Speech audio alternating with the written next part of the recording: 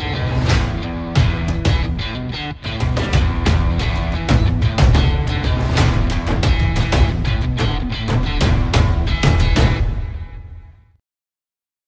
Hello everybody and welcome to our interview with Kamila. So we are very happy to have you here and thank you for accepting our invitation.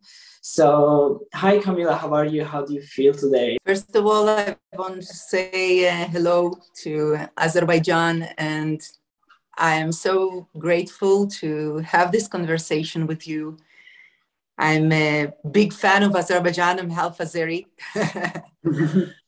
and um, I miss this country a lot. I still, uh, I still uh, feel in my heart that this is my motherland.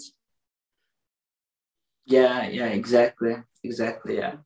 And yeah, we're just gonna go quick to our questions. We have prepared some questions for you. I hope they will be interesting, and we'll get some interesting answers. So my first question is, how and why did you decide apply for the Eurovision? And do you usually follow the Eurovision like usually? Um, the my purpose was to mix between my two um, religions and my two motherlands, my two um, mother languages. Um, my roots. I left Azerbaijan f- 30 years ago, but since then I'm um, talking in my uh, concerts about Azeri music and Azeri roots. Um, and to go to Eurovision was to have a bigger stage and to bigger bigger audience to hear stories about amazing Azerbaijan and mix between Azerbaijan and Israel. Uh, they asked me to sing a song in, in English in uh, Eurovision uh, auditions, but I made this interesting um, version uh, to mix Azeri Old Mugam in uh, English song.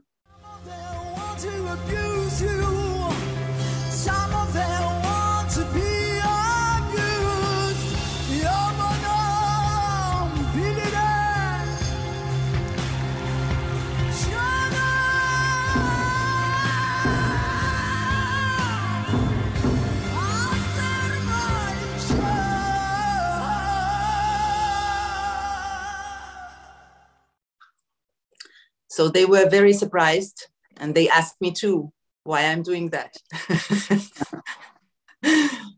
and I said the same thing that this is just a bigger stage, a bigger audience to hear about amazing Azeri culture, music, and to mix my roots together. This is who I am. I am half Azeri, half Jewish, and who are we without our roots?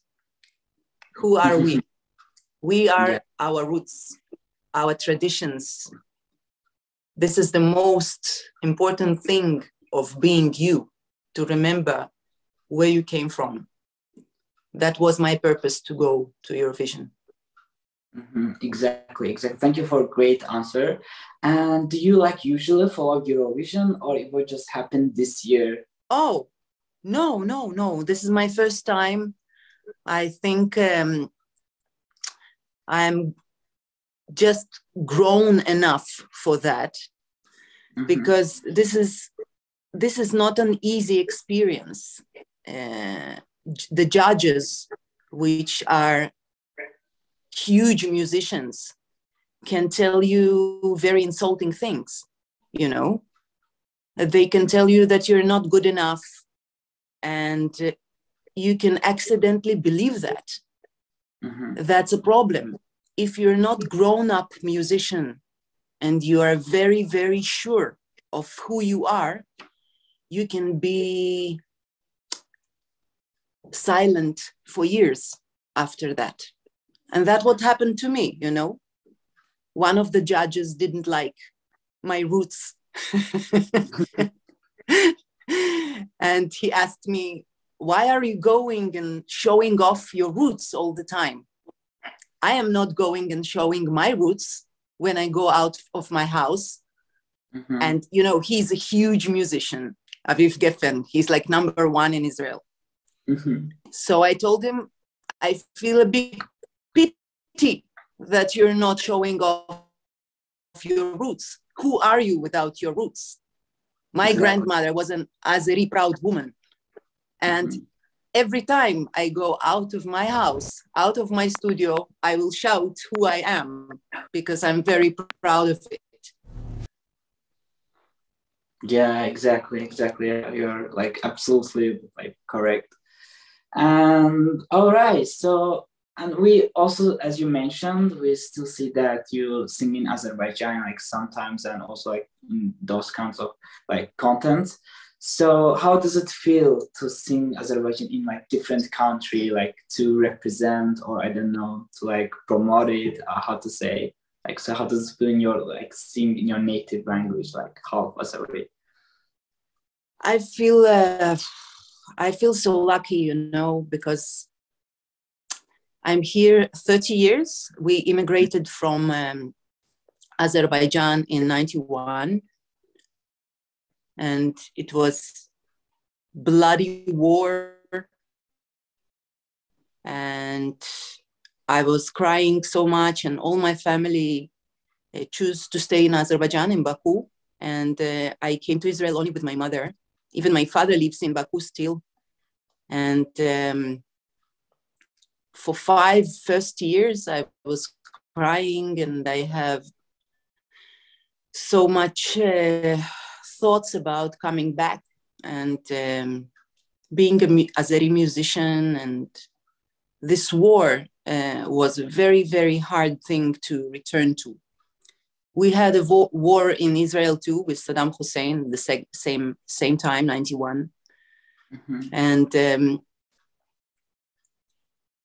I understood that the only way to be one again is to mix Hebrew language and Azeri language in one album, mm-hmm. in one concert. So I wrote my first album. It calls Mama Land. It's about mm-hmm. Azerbaijan. Uh-huh. I can uh-huh. even show you. Wait a second. Yeah, Since then, it's like 20 years already that I'm performing with this uh, album with my band. Uh, we can see here is the first uh, is uh, the first oil uh, fontaine from Azerbaijan land. It's amazing, and the first page. Here it's yeah that's beautiful. Azeri that's oil beautiful. machines. Yes yes. And all the songs are about baku and azerbaijan uh, land and caspian sea but it's half in hebrew and it's few songs in, Azerbaijan in azerbaijan language. Mm-hmm. um, like asmarim and sari galin and every every show i'm speaking about my memories from our home in uh, Basin Street. Mm-hmm. I was learning in uh, school number 46 mm-hmm. and a music school number six. And my mom is a great, great pianist. So um, the first, this album, it was recorded in uh, Azeri Conservatorium. Oh. Yes, we ba- came from here. Yes, in Baku. Uh-huh, in Baku. Yes, with Mansurov, with Mansurov brothers. I came oh. with my band here from Tel Aviv, and mm-hmm. we recorded uh, in uh, in Baku with uh, a lot of uh, Azeri folk uh, musicians. Wow. That was amazing, amazing experience. So all this album was recorded in Azerbaijan five years ago. Wow, that's Now- that's really interesting. That's cool. That's cool. Now Yeah. I'm releasing my second album. Um, Mhm. Hopefully, the audience will like it. Yeah, we, we, I'm sure. Yeah, the audience will like it, like definitely. Um, all right. So the next question is: You were very close to represent Israel in Eurovision Song Contest, but if you get an offer to represent Azerbaijan, would you accept it? And if yes, what kind of song would you like to sing? oh, wow. That's a beautiful question. Um, yes, sure, sure. I want to represent Azerbaijan in Eurovision. Yes, yeah. but, but um, I think it's I guess it's all. Um, what song? I will definitely go with my own original material, but mixing inside Azeri Mugam. Uh-huh. Um, this is very important for me. I want to come to Azerbaijan next year to learn professionally Mugam, singing professional Mugam. Uh, I feel this is magical and very powerful um, instrument to express myself. Hmm Yeah, very interesting. Very interesting. So yeah, we will like happy to hear those Mugami Eurovision Song Contest. Actually, I, I think we never have it like this kind of ethnic vibes, which can come from like Mugam part and to represent us like very beautifully and from the other aspects. And yeah, that be really great actually. And as far as I know, you speak, as you say, like in like let's say three languages, right? So English, Hebrew, and also a bit of Azerbaijani.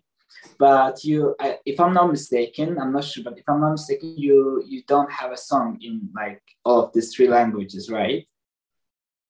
No, but this is a great idea. Maybe we Yeah. will try something. Yeah. So like, I you have- ever, like, yeah. I have, I'm singing Sarigalin in Hebrew. Mhm. Yeah. In this album, we have Sarigalin translated to Hebrew language. Wow. So um, it sounds like this. Do you want to hear it? Yeah, I would love to.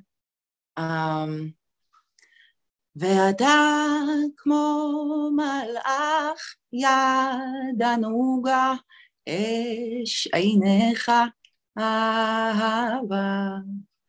ואתה כמו מלאך יד הנוגה, אש עיניך אהבה. אל תלך נא, אל תלך. כי אני בת הים, תן לי המון ממך, אין לי מספיק ממך אהבה. That was beautiful. Thank you very much. That was very, very beautiful. Thank you. So now Um, I need only to know, now I need only to write it on Russian and it will be like Yeah. perfect. yeah like yeah. So I, I actually love the language like a lot of languages in one song. It sounds very like special and different and it makes it like very special from the other kind of songs i guess. Um Yeah, you are uh-huh, you are also a composer so you are also writing a song. And as you know currently azerbaijan looking for a song for the eurovision song contest to represent us in 2022 so have you ever thought to send uh, for selections for Azerbaijan.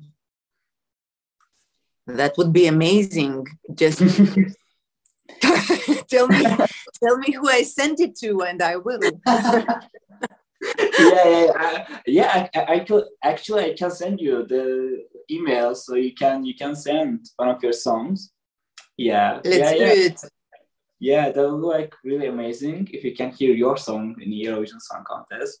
But yeah, it should be released after the September, as you know. So before the September 2021, songs are not eligible for the Eurovision. But if it's released after September 2021, yeah, it is eligible for the Eurovision Song Contest. So you can submit a song. That would be perfect. A great idea, right? Consider it done. Consider it done. oh, perfect. Yes, I will definitely send the Gmail to send the like song to there. Perfect. Yeah, that's good. Um, do you usually like listen to Azerbaijani singers or like do you have some favorites or you know i would very very like that your audience azeri people will start mm-hmm. to send me what to hear because i'm way far of azeri culture right now modern culture i uh, I was growing in a Soviet uh, USSR, Azerbaijan, and it was very, very different music. It was very different kind of thing. And today I don't uh, really know. So I would like you to write and to say to your audience, please send me on Instagram, on, on Facebook, what to hear. I want to know Azerbaijan music right now modern music modern music yeah yes so, yeah. let's exchange information exactly. Um, but my favorite azerbaijan composers and musicians are uh, vagif mustafazadeh mm-hmm. and tofik kuliev this is my most favorite music aziza mustafazadeh and i would I, I, I hear it even now. It gives me a lot of uh, muse to write my music too. Yeah, exactly. That's that's right. So yeah, also guys, you you heard it, and you should comment below about the songs and recommend some. Exactly. Um, yeah, but what about Eurovision? Do you have like some favorite songs from Eurovision or favorite artists from the past? Oh, that's uh, that's that, no no because I never saw I never saw Eurovision uh, uh, Eurovision content. Uh, that was the first one that I really mm-hmm. decided to do because, uh, like I told you, I was grown enough to see that and to participate that. But before I I never heard uh, songs from Eurovision, and I would like to know um, did Azerbaijan ever win uh, Eurovision? Yeah. Yes. Yes. yes in 19, uh, 1960, uh, no, no, no. Like in in 2011. Yes, in 2012. Yeah, yeah, I heard yeah. about that. Yeah, that in 2012, it was in Baku. That was crazy opening. That that's the only one I saw. I saw yes. the opening in this exactly huge hole that you built in the middle of the Caspian Sea. It looked like a diamond. Yeah, Crystal Hall. Wow, wow, that was amazing. Yeah, it was a great opening ceremony, and they did like a fireworks in the Caspian Sea, like in the wow. ceremony. Yeah, it was it was amazing. Yeah, that's the only one I saw. yeah. Obviously, yeah that was really beautiful. So maybe this year we will bring Eurovision again to Azerbaijan. We'll see. I will hold my fingers crossed. Yes. you know, um, definitely Azerbaijan, it's the land of the best food and, and music. Yeah. This is the two things. Azerbaijan is the best in the world. Like the food and the music is cosmic, it's magical. Mm-hmm. And everybody who hear that in my concerts all over the world, I'm always telling about what I remember very late sunset and warm bread and this amazing black caviar on my churek with a black tea. And mm-hmm. we were eating that sitting on our cottage uh, home um, on the Caspian Sea, um, summer house. We were eating like huge churek, so tasty, like breathing, breathing. and putting inside the black caviar and just eating that like wow that was the best thing i remember from azerbaijan yeah that's exactly and the lula kebab wow the lula kebab oh my god yeah. with sumac yeah that's that's true. The best food ever. In lavash. Why why why lavash? Yeah exactly. It's so good. Yeah true. Um okay so let's move on to i guess that's our last question.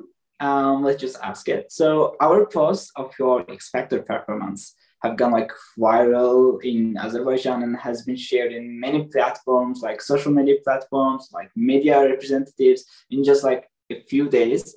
And it was just a matter of proud for us to see the Azerbaijani to represent us abroad in that way. And actually, we would like to like hear your I don't know how to say heartfelt words to who loves you in Azerbaijan, and we love to hear like what would you like to say to them. And if you can, I would love to hear it in Azerbaijani actually, but if not, English is also possible. So, are you ready for that? Yes, I didn't prepare. I didn't prepare that, but mm-hmm. that's what I want to say. Yeah, we would love to hear. Mən seni sevirəm, Azərbaycan. Qurban olum sənə. Super, perfect.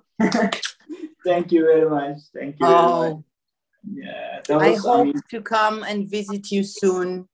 And if someone ever that hear our interview are planning to come to Tel Aviv, really, really, you can write me on Instagram, on Facebook, and I will show you Tel Aviv through my eyes. Mm-hmm. This is a very, very warm country that loves Baku and Azerbaijan. Israeli people love Azerbaijan very much, very much, and it's important. Yeah, it is important. Yeah, it's very connect important. me. Yes, exactly. Thank you very much. Uh, I guess, yeah, we are going to the end, like little by little. So I just want to say thank you very much for, again, accepting our invitation. And it was very nice to see you at this like virtually online way. And hope, yeah, maybe one day we will see each other like in person and we will share like more information and more emotions, feelings with each other. And yeah, thank you for like going to those uh, selection X Factors so that we have a chance to know about you your music your like yeah i'm style everything and that was so beautiful. And uh, just one more question i just remember like comes to my mind. And you released new music right? Like recently. Yes. So we uh, we listened to that and we loved it actually. So thank you for that as well to like producing this song. And the one question is where and how did you record the music video? So because the music video is very interesting. yeah, it was very interesting and a lot of elements we saw in the music video. So what the meaning of those elements and where and how did you record the music video? Um, in Israel, we have uh, the most interesting spot, uh, which is the lowest place on planet. It calls oh. the Dead Sea. Maybe you heard that. Uh, yeah. So the Dead Sea is really the lowest place on all the earth, and it's full with salts, um, um, medical salts. People are going to this uh, location to um, uh, to improve their health because the salts are very very uh, strong. There's nothing lives in this sea because it calls the Dead Sea because mm-hmm. the amount of salt is so huge that not a live thing can live there. And the ground, because of the salt, just collapse. That's crazy. So there was um, like um, location for uh, for resting and health uh, products and the whole thing like the office and the building and the living places they just collapse into the ground. And it stays like this because nobody can go there. The ground collapses all the time and creates huge holes inside of the earth itself. Mm-hmm. so you know it's amazing miracle. It's just like a miracle of azeri oil like mm-hmm. fontaine from the ground and it called black gold it's yeah. azeri miracle israeli miracle it's the salt gold and uh, we just went there to uh, shoot the video in this amazing uh, location. It's a really, really a miracle of the nature. Mm, yeah, yeah, that's makes a lot of sense. Yeah, it's beautiful, I guess, as you said. And we also saw in the music videos of those like very magical, I will say. I think yeah. in uh, uh, the purpose was we are living in this age of computers and everything is everything is on our computer just coming ready to us mm-hmm. we don't want to get out of our houses anymore we have everything given us inside our home. And i think it's very very important as remembering our roots to remember the earth the ground the soil the nature to go there actually to go out of the houses to see the places to connect people sitting there together. You know we were sitting there with the shooting uh, uh, crew uh, like crazy uh, beautiful nature outside and we are sitting there on the edge of this hole in the ground just connecting with each other without phone without uh, Instagram, Facebook, just connecting, speaking to each other offline, you know. This is important. We should remember our ground. We should cherish our nature. This is very important to go out of the houses and to connect. Connection, relationships, that's the most important things after all, the relationships. Agreed exactly yeah. Okay so yeah once again i i'm just saying like Ruby video thank you for that. And yeah so that was very beautiful so i guess we just gonna end now and i just want to say to our like viewers our followers so it was uh, kamila from uh, israel tel aviv and thank you very much for your thank you like, very much. Yeah we were very delighted to have you here today. So yeah and so you can like subscribe. You can tell your like uh i don't know feelings in the comments below. And yeah so that was it. Thank you and bye. Have a nice thank day. you very much. Love from tel aviv. Follow yeah, us. Kama bye